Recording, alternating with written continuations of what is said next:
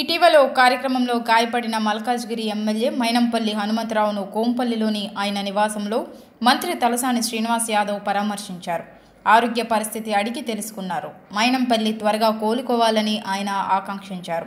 మంత్రి తలసాని వెంట పలువురు టీఆర్ఎస్ నాయకులు ఉన్నారు.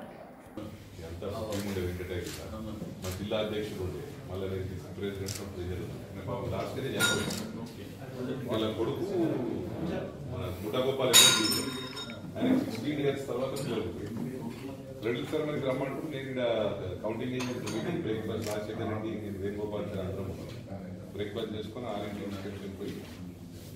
శ్రీ శ్రీ రవిశంకర్ వస్తున్నాడు వాడు నా పేరు రాయించింది ఐదారు. వేణుగోపాల్ సార్ సార్ నేను కూడా వస్తున్నా ఆయన పేరు కూడా రాయించాను ట్వెల్వ్ థర్టీకి విజయవాడకి వెళ్ళి స్పెషల్ ఫ్లైట్లు వస్తున్నాయి.